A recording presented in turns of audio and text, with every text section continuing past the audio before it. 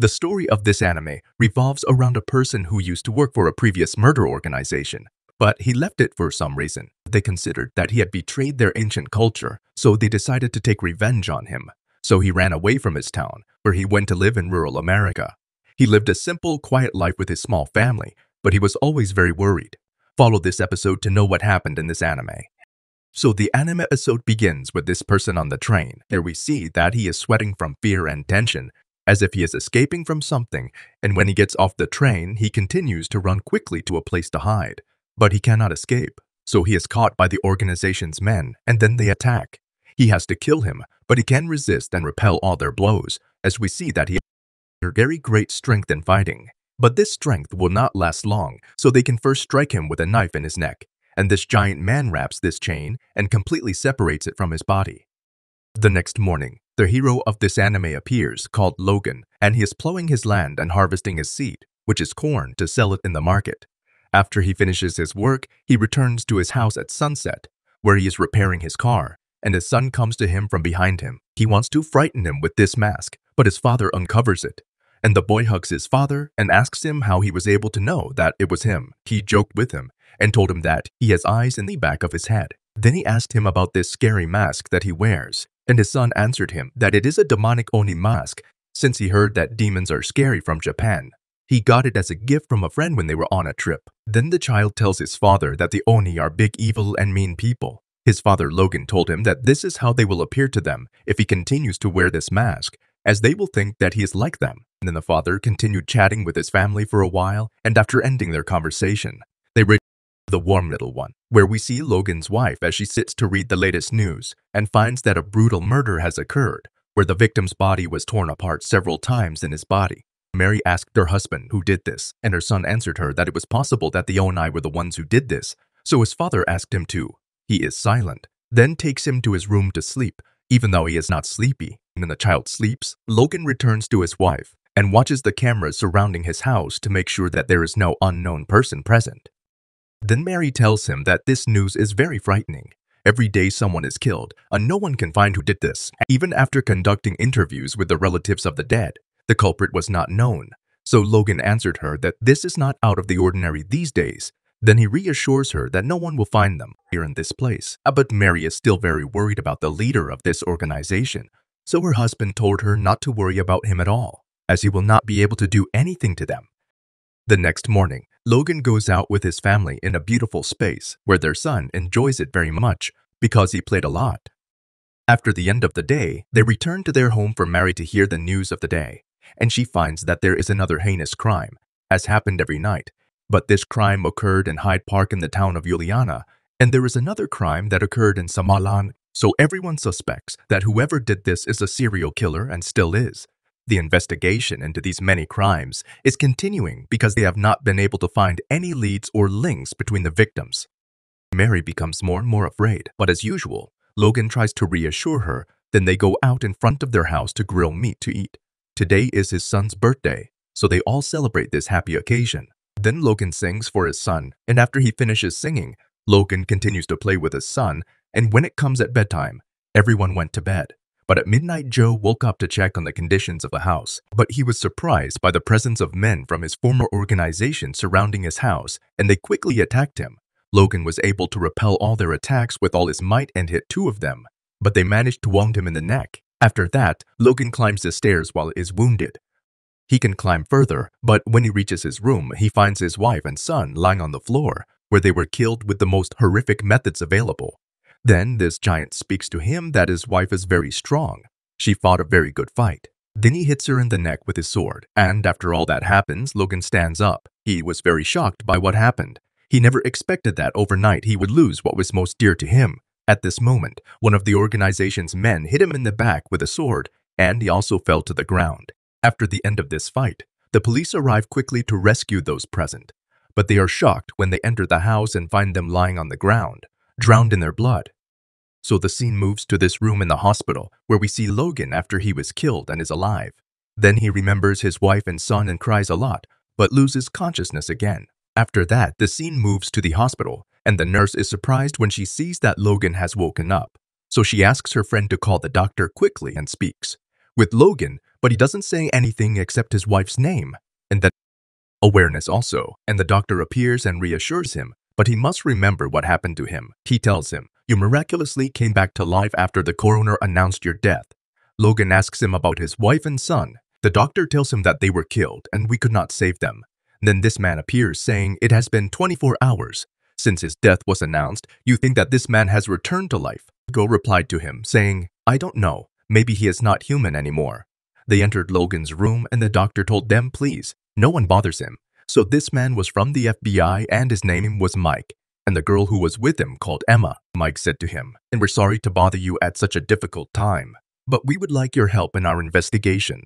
Then he asks him, do you remember who broke into your house and attacked your family? On their way, Mike said Logan knows who did this, but we'll take turns watching him tonight.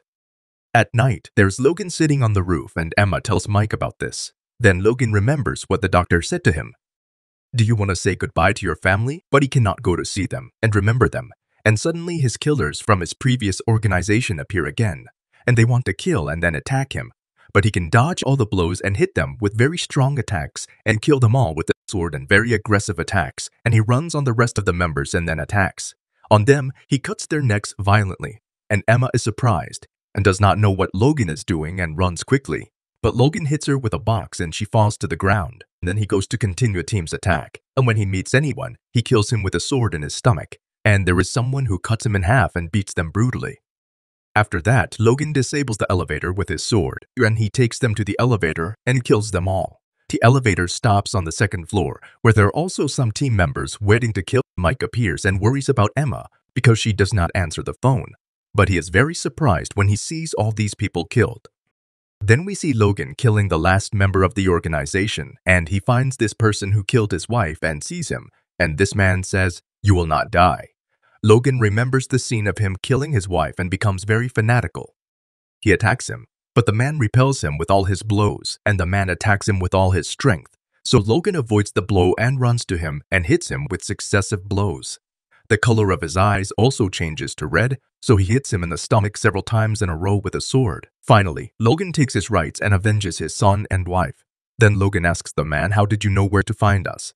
And I knew it was me. He replied to him, saying, you can change your appearance as you wish, or does not matter how you try to hide. It is impossible to escape from your destiny. When the man finished speaking, Logan changed his appearance to the real appearance. This man was very surprised and tried to escape, but Logan beat him and killed him. Then Logan went to their house and takes this box that contains their pictures and the mask, and we know that his wife and son also changed their appearance into another form in order to protect them. And Logan remembers his life with them and their life in this house together. He burns the house. So Logan puts on his mask and goes alone, and today's episode of this anime is almost over. Stay tuned for the rest of the episodes. But do not forget to subscribe and activate the bell button to receive everything new. His name is Logan, and he works for a multinational company. However, when he decides to leave that company, they decide to kill him and pursue him no matter his whereabouts. So Logan decides to leave the company and take his wife and only son and escape far away, but he changes his appearance and identity. The company was smarter than expected, as they murdered his son and wife in a very gruesome manner. However, he managed to survive this ordeal by sheer luck. He decides to avenge his wife and son and this is where our story begins.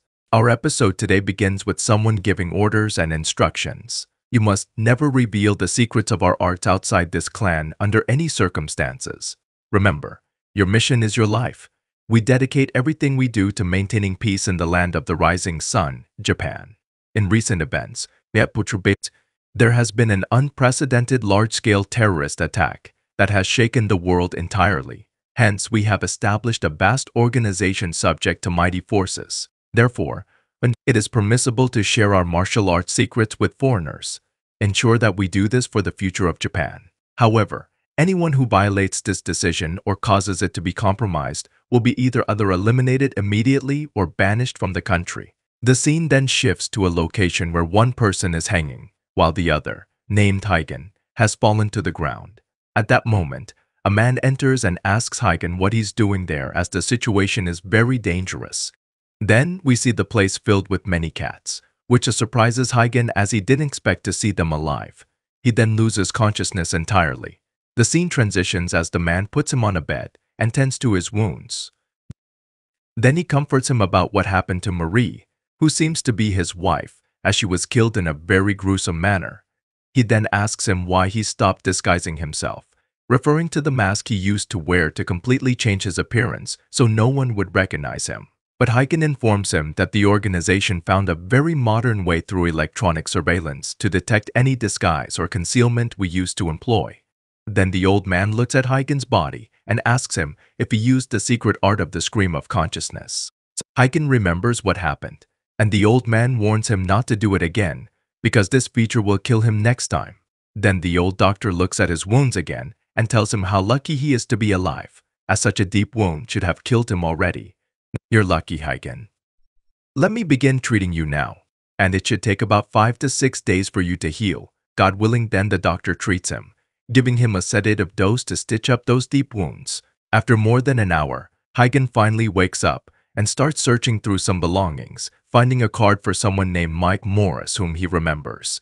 The scene then shifts and he goes back to the hanging man, holding his knife and stabbing him repeatedly. The hanging man groans in pain and tells him to do whatever he wants, but to remember that ninjas never reveal information. Huygen continues to strike him harder and harder to the point where the man wished for death but couldn't find it. But days pass like this until the man starts to mention some information, but it's not actual information, it's provocative words. He says, The last time I killed your wife, her eyes were shining and screaming in pain. As for your son, his eyes were filled with fear, begging me not to kill him. Each time Huygen stabs him more, he cries even more. Huygen approaches the man and ignites the matchstick, warning him that this is his last chance, or else he will flay him alive. He crushes his bones and completely pulls out his spine. Despite your heart stopping, there will be no rest from death. Then he throws the matchstick onto the gasoline, causing the man to scream in agony. The scene then shifts to this man, who appears to be the one holding Huygen's card. He speaks to the other man, saying, why are you keeping me away from this investigation? Damn it! You know we can't pretend that nothing happened. He then remembers when she was completely unconscious, snapping back to reality where the other tells him, We've discussed this before. There's nothing we can do since we don't know whose blood that is, and we have no footage from the surveillance cameras of what happened there. That's the reality. Regardless of that, it's a direct order from the top not to get more involved in this investigation, my friend. The other investigator gets extremely angry and says, Why are you being so cowardly? The man then rises from his seat and tells him, Mike, I'm only worried about you. Just sit tight and take another case. That's Mike gets even more angry and says, What about Emma? She saw everything. She saw Logan being attacked by a group of killers. He tells him to ask her again and make sure of it. With Mike runs towards Emma and asks her what's going on. But she says, Your outburst won't do any good. But I'll tell you something dangerous. Something suspicious is happening in this case, so we just need to act wisely. So she then presents him with a computer screen and tells him about the man who disappeared from the hospital named Joe Logan. I searched into his matter as you requested, but it's much deeper than just him alone. His wife, called Sarah, and their son named Kyle were brutally murdered. However, I found out that all their names are aliases, none of them actually exist, and they turned out to be the same previous victims. So your intuition was correct Mike becomes extremely angry as he doesn't understand what's happening at all. The scene shifts back to Huygen, who is gathering his belongings in the bag from the place where he was treated. Then he takes something in his hand, believing it will protect him no matter what happens.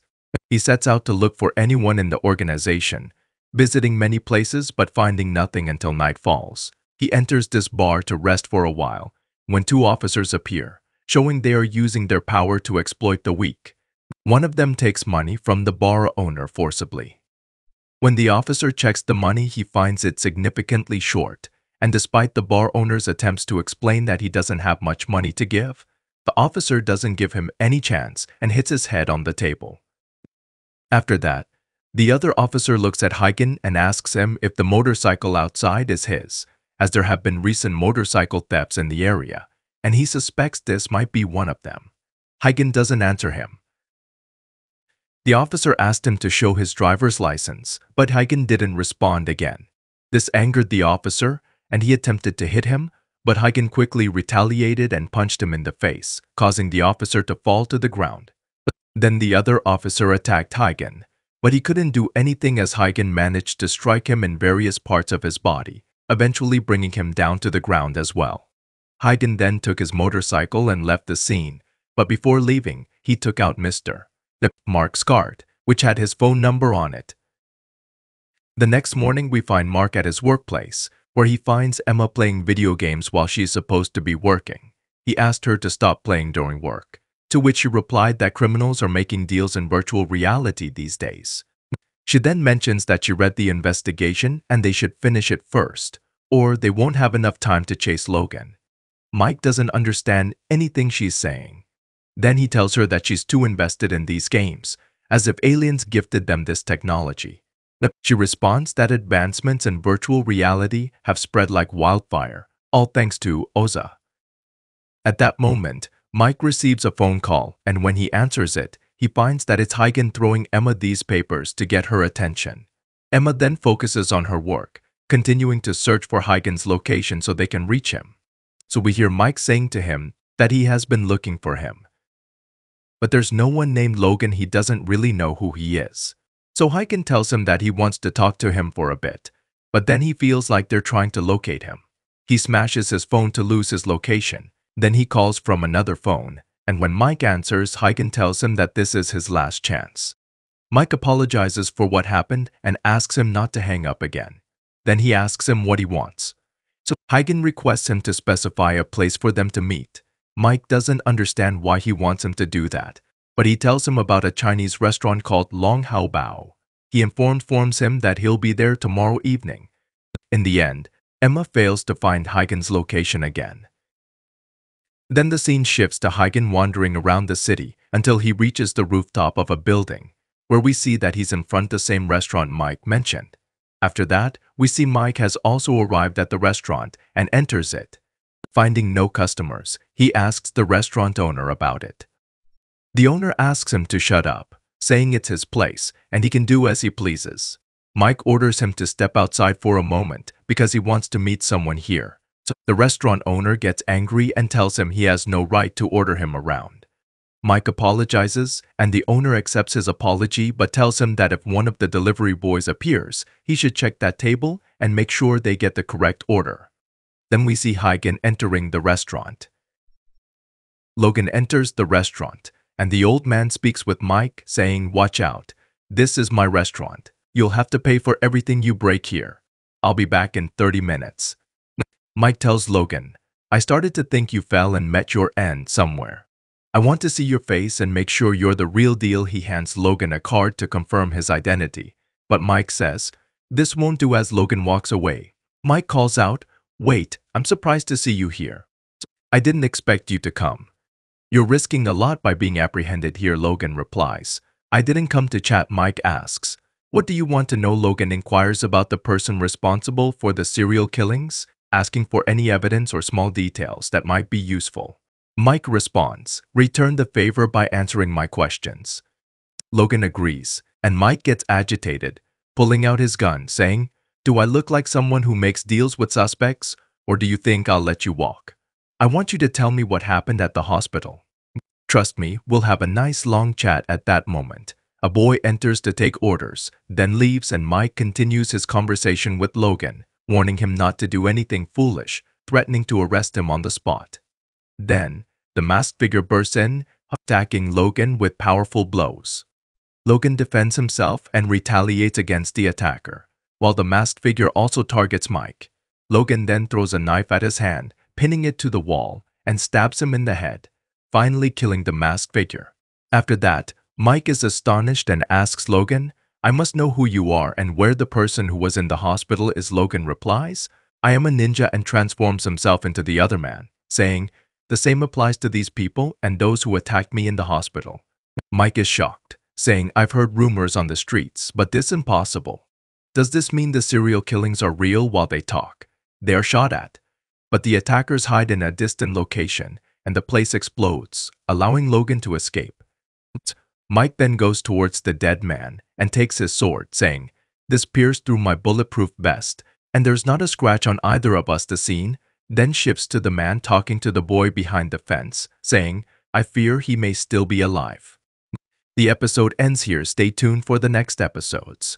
Don't forget to subscribe and activate the notification bell to receive all the latest updates. Cho Martyr Our episode begins with numerous men being killed inside the palace. We then see a mysterious man escaping from the palace, pursued by palace guards. He manages to get into a car and speeds away. While on the road, creepy hands suddenly appear from behind, strangling. The car crashes into a tree and explodes. The strange man, revealed to be the organization's leader, looks at his phone, showing an image of excitement. He then proceeds to eat and is interrupted by a man named Yamaji. The organization's leader complains about the dullness of his job, suggesting that Yamaji should handle the matter of hygiene, possibly a misspelling, could be Haijan or Haigan for others. Yamaji explains that the sword is just a weapon without its own will. The organization's leader mentions outdated ninja techniques and the absurdity of following certain codes or symbols unless they are still hanging on to old traditions or something similar. Yamaji informs him that the exiles are no longer part of the ninja organization and should be treated as enemies the moment they defect. Each one must be eliminated immediately because they can't bear the cost of their secret arts coming to light at any moment. Yamaji then talks about Hijin, describing him as one of the best ninja in Japan's history, mastering countless combat techniques and never showing mercy. They thought they had killed him once, but he survived, possibly using the organization's secret art. The leader insists they must know his fighting style to eliminate him. Yamaji suggests capturing Hijin and they can plead with him to spare their lives. As the head of the academy leaves, he looks at Yamaji and inquires about the other man, referred to as the Reaper. The scene then shifts to the Reaper, who is talking to one of the exiles named Z. The Reaper tells Z that wielding a sword without pride is just mindless violence, as he learned before. Z questions him about the number of his former ninja comrades, the exiles, whom the Reaper has killed. The organization system is corrupt to the core and the main reason for killing the exiles is the organization's fear of them. Merely glancing at the reality of his failure to kill Hijin proves that these exiles still hold onto their faith in the old ways, and they won't fall for the Reaper's methods. The scene transitions to the Reaper and Z preparing for battle, attacking each other. The ground explodes, and we see the Reaper's sword within Z's body, his mask shattering as he falls to the ground and dies. The focus returns to Yamaji and the organization's leader, where Yamaji informs him that the Soul Reaper of Souls has been prevented from involving Hijin in any kind of battle. The organization's leader is surprised and asks if they won't allow them to fight at all. The scene then shifts to the intelligence agency, showing Mike, who is extremely angry with his assistant for not doing his job properly. Mike informs him about evidence, suggesting that some individuals are involved in money laundering. The president appears behind Mike and calls him, and they sit in the city. The president advises Mike to focus on his duties to help him and not interfere in matters that don't concern him. He mentions that they need to get Aijan and asks Mike about his meeting the previous night. The president advises him to either step down or take a temporary leave to resolve the issue, as people make bad decisions when they are tired. He then gets up, telling Mike not to come to him again until he retires from his job. The scene then shifts to Hijin, who is working and reminiscing about his family's murder, visibly sweating. Mike arrives and Hijin comes out to greet him.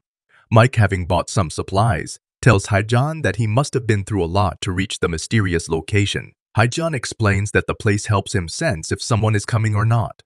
They enter the building, where Mike informs Hijin that the analysis of the man who attacked him last night reveals a very special alloy patented by Oza, indicating a connection between Oza and the ninjas who attacked them. Haijan expresses his determination to pursue and kill those villains who murdered his family. Mike warns him that if it comes to killing, he will have to apprehend Hijin and burn the evidence. He reminds Haijan that his duty is to protect citizens from criminals. Additionally, Mike mentions his dislike for hunting, and throughout his years in the office, he never encountered mysterious ninja disturbances, so Hijin's experience is new to him. Haijan offers Mike a drink, stating that sharing a drink forms alliances. Mike is surprised when he realizes it's an energy drink.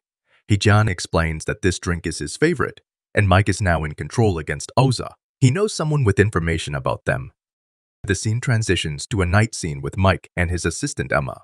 Mike asks Emma if she remembers the first thing he taught her when she was a beginner. Emma recalls it was not to be late for meetings. Mike informs her that her next lesson will be about defining tardiness. So Emma told him that the mockery he was engaging in would completely kill his popularity. He got angry at her, blaming her for being late. She explained that she understood but didn't know what she should do. She had no excuses to leave her job, but she had to go get the child. She hurriedly came back to him, and he continued to mock her and her car, calling it junk. Emma got annoyed, screamed at him, and told him that if her car was junk, then his car was garbage itself. He responded by praising his car, stating that it was wonderful because it brought him to the place on time. Then, he asked them to stop shouting, claiming that her car was an economical and historical masterpiece designed by one of the best designers of the 20th century. He described its four-cylinder air-cooled engine with a capacity of 1500 cc. He discussed the car's excellent structure and distinctive rear wheels, making Emma very happy. She complimented him on having excellent taste. Mike then asked him about the futuristic weapons they found, questioning who would analyze them. Heihan didn't answer, and Emma, once again, tried to talk about the car. Mike interrupted, telling her they didn't come here to talk about cars. Emma fell silent and they were asked to enter the car. Inside, they discovered computer-like machines, and Emma revealed that the car was essentially a giant mobile computer she had built herself. It had all the information they needed from around the world, right at their fingertips. Then she says that she researched the relevant company, Aza, and found that it is a multinational conglomerate involved in various projects. The company engages in the development of military weapons, as well as communications, entertainment, and clean energy. Anything that crosses their minds, this company is involved in. They have a high global market share and an insane rate of penetrating markets worldwide, constantly replacing their products. They have various programs, and it's safe to say that there is no country in the world without an Azu company. However, this rapid growth has given rise to many dark rumors, Mike asks about the nature of these rumors, and she tells him that many key figures from major competing organizations, along with journalists investigating alleged fraud and other uncomfortable individuals for the company, have all died mysteriously. She then mentions a recent incident where a prominent conservative political figure in Europe, known for refusing to engage in business in his country, died in a sudden car accident. The organization actively attracts foreign companies under the guise of improving local technology. Towards the end, Emma speculates that the ninja organization is behind all of this. Mike responds, stating that if all of this is true, they have entered a real nightmare. Then we shift to the scene inside the Aza company, where workers are amazed at the increased production of the Asia reactor. It can now generate 2 million kilowatts of energy per second, and their wireless energy transfer system is making excellent progress. All the workers are extremely happy because this reactor will be the light that illuminates the future. If they can make this technology widespread, the world will never be the same again as the magic produced by this company will permanently change people's lives. After that, the leader enters his office and finds Mr. Maji welcoming him. He suggests they have dinner together and asks how he came here directly, implying that he must have something urgent to say. Maji throws a picture at him, and upon seeing it, he tells him that these men are from his team. They were in desperate need of data on the weapon they are developing and the ninja was the ideal test subject since they have supernatural abilities. He confirms that they targeted former ninjas. He informs him that they are now partners and must work together to build a better future. Maji doesn't respond, then moves from his place and orders him not to do this again. He said to Maji, warning him that he had never pulled off a stunt like this before, and he should never attempt it again. He left Maji astonished and laughed at him afterward. Then Ima continued her conversation, stating that this facility belonged to the massive organization known as OZA. It serves as the starting point if they want to find out what they are doing, how they operate. With the presence of the ninja figure in all of this, they know the headquarters is a testing city fully operated by their organization. They use it to test various new technologies and energy sources. While they were talking, suddenly a sword appeared above them, striking down multiple times. They noticed a person on top of the car, and Hagen yelled at Ima to drive the car quickly. Then Mike was hit with a gun, and Ima, scared, asked what was happening next. Hagen suddenly moved away, and a person with a sword attacked them from above. Hagen used his power to identify the person above, causing the man to stop hitting them. It was then that Mike realized he was finally free and thanked Ima. Ima replied, stating that the ninja is very dangerous. Suddenly, a vehicle emerged and hit Mike and Ima, leaving them unconscious, while Hagen remained unharmed. The man then chased Hagen, shooting at him, but Hagen evaded all the shots. They engaged in a fast and furious fight, indicating that the man was exceptionally strong. Haigan was eventually hit from behind, and he used his demonic power to defeat the opponent. He broke the enemy's swords, and then, taking the camera on his back, he looked at the president. The president understood what happened, confronted Haigan, who handed over the camera, and the president broke it. Later, the scene shifted to the presence of ambulances. Mike and Emma were taken to the hospital, but Higan stood aside. Higan's phone rang, and he answered it. A person on the other end said that they can finally talk together. However, fear and concern were evident on Higan's face.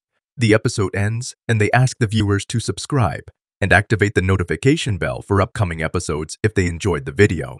Our episode today begins when Higan's phone rings. A voice he seems to recognize the voice tells him that he has gone through the liberty of encrypting this call so he doesn't need to worry about getting traced by it. Higgins starts by asking who this voice really is, but he won't be getting an answer so easily. First, the voice reveals that he knows. Higan is heading for Oi City, but they have a really tough multi-layered security system, so it will be impossible for him to make it getting there all by himself. So for that reason, the voice wants to offer his assistance in Higgins. Infiltration. Higan isn't dumb enough to trust a voice. He has only met over the foam of his life, but the voice reveals that he is also in a similar situation to Higgins as an exile. Ninja, therefore, is in his best interest to cooperate. He says he will send a location where he wishes to meet up with Higan later so he will leave the decision of whether or not to be trusted up to him. Mike wakes up in a hospital room after the car crash and opens a note he received from his daughter a while ago. Some years back, he was on a sting operation with another guy. When his wife started calling him nonstop now, he could have just answered, but he thought his job was more important, so tells his partner to just stay focused on the investigation. Even though the eyewitness report isn't guaranteed to be true, the day ended without him finding anything, and once he returned to the office, he finally decided it was worth it to pick up his wife's call. However, what he heard next changed his life forever. His daughter was killed in a car accident by some random guy who the reports say was asleep at the wheel. His wife is devastated and equally is upset at him for not answering his phone when something as serious as this was happening that day. He lost both his daughter and his wife, and now the only thing he has left to comfort him is the drawing his daughter made for him while she was still alive. While he is deep in thought, Higan interrupts him as he appears around the corner.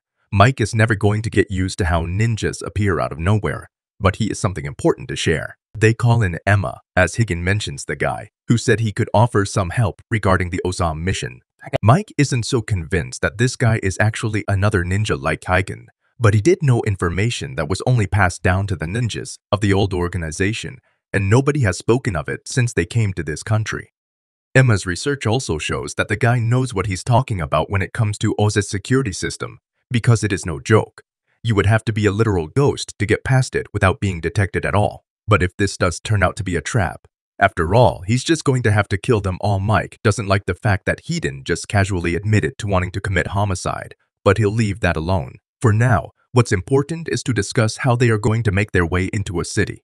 Considering the last time Mike spoke to his boss, Oa most definitely have an eye on him, so Emma thinks it might be best to call it quits right now. She may have been right when she said the best way to get to Oz's secrets would be to make it into their HQ. But she never said it was possible to do Mike begs her to reconsider. But she's the tech girl, not a magician, so there's nothing. She can do, however, that doesn't mean they are out of options entirely, since she has found another lead in the form of a community of dark web users who have been keeping tabs on Oz's actions from what they've seen they believe. Oza is planning to take over the world by building weapons of mass destruction. Mike initially takes it to be nothing more than a bunch of conspiracy theories. But then again, it's better to be safe than sorry. Emma manages to locate the admin of the dark web group who claims to be one of Oz's former researchers. But he is really far from here, so it will take a while to get to him, Mike says. That's not going to be a problem, but he wants to go alone because Emma has done enough to help him. He doesn't want her throwing her life away on mission like this. But he, on the other hand, has already lost loosed everything he cared for in life, so he's got nothing to lose. However, Emma isn't backing down when they are this close to getting info on Away. And if she's lucky, she might even be able to steal some of their cutting-edge data and sell it for millions on the black market. Since she isn't giving up, they all agree to stick together and Hagen gets up to leave until the others are ready to head out. However, before he goes, Mike asks him if he ever told his wife that he was a ninja. Hagen replies that his wife knew all about it, since she was also one the two of them just broke. The ninja code of staying emotionally dazed from other ninjas that puts Mike's life into perspectives since even a ninja like Higan shows family over work. A yet of OIS called a meeting to discuss how to take down Higan since he seems to be quite the formidable fighter. The little SMH makes fun of him for glazing Hagen so much, but he doesn't mind glazing as much as necessary so long as he gets the data he so desperately wants. In fact, if warranted, he would be willing to have his assistant give him Gluck, Gluck 9000, if it would provide decent data and she's also willing to do anything. Her boss asks her to do jokes aside. Oz's director asks what the plan is, since Higan is most definitely going to show up here next, but he is told to rest assured. Since Oza City is 100 impenetrable, he doesn't like it when people use the word 100 as secure because that's just begging for someone to break through. However, before he goes on, he asked Big D if he is listening to the meeting. Big is definitely listening, but he has got more pressing matters to attend to at making sure his fad stays as fresh as possible, and if he can so much as dance the afro, he'll personally ensure that he dies. The tries to make a joke about Big D's big banana, but Yamu has grown tired of listening to his idle chatter and uses what I can only describe as a force choke to keep him silent. He states that everyone is aware of how dangerous Higan is by this point, so the plan remains the same. They have to learn how his technique works in order to defeat him, and they can just leave Mike alone for now, since he isn't much of a threat to them, yet they should make things more complicated than they need to be. The head of Atsu doesn't like being ordered around, but at the same time he agrees with everything. Yami just said, so the, the meeting is adjourned on the ride back. He asks his assistant Dilly how far she thinks Hagen will be able to make it into the city before he gets killed. It's not that he is feeling threatened by Hagen, but he is rather excited to get to see a ninja go all out. He hopes to get some really useful data from this. Meanwhile, the Reaper tells Yamik that he would be happy to go after Hagen right now if he orders it. However, Yamagi tells him to sit tight because he plans to send the others in first so they can force Hagen to reveal his technique. Their deaths will be inconsequential to the organization, and it is only a matter of time before they achieve their true goals. And as he speaks, his operatives have broken into a building where they took out all the guards and stole some top secret government documents. And after they had completed their mission, they simply faded into the night. We now see a flashback to the night. Hyun was acknowledged by the ninja organization and was given a name of his ninja name. This is proof of the three's skill and power as ninja, so they should take great pride in them from that moment on.